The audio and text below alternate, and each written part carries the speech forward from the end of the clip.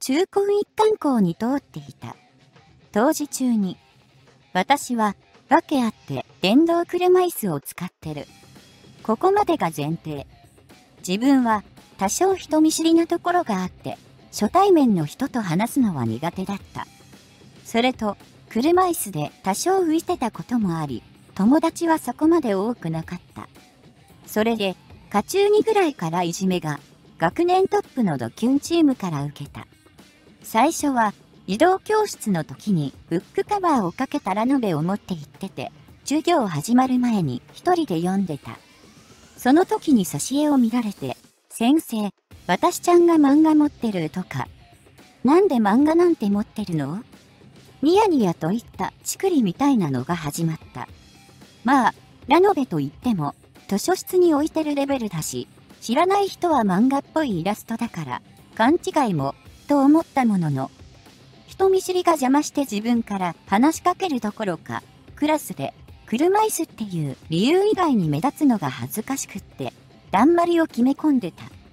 走行してるうちに、ドキュングループの一員の M が、車椅子の後ろのストッパー、押す時に握るストッパーをガチガチ触り出した。さすがに危ないから注意したけど、聞く耳持たず、担任も注意はするもののさすがは、ドキュン、全く聞かない。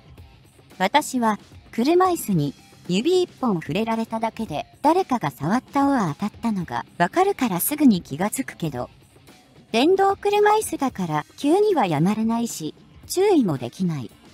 ドキュングループたちは、それをただ面白がるだけ。それが、中2の終わりまで続いたる。中3になってからは、さらにエスカレートした。動いてる途中に、後ろから急に飛び出してきて、一気に力技で車椅子と止めては、逃げる行為をしてき始めた。それで、何度も数少ない友達を敷いてしまったし、幸い怪我はなかった。何度も私も車椅子から転げ落ちそうになった。そんで、こんなで夏休みが終わり、新学期。